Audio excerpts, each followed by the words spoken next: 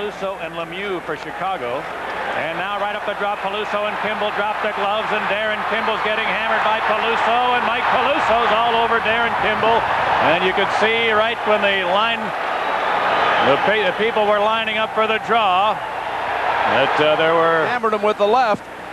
Kimble backs off. He's looking at him. Peluso's not paying attention. Finally, he notices, and they drop their gloves, and Peluso just started flailing away with the left. Got a bunch in early. Kimble landed a couple, but Peluso clearly a big win, and that Peluso's really been uh, dominant in a lot of his altercations of late.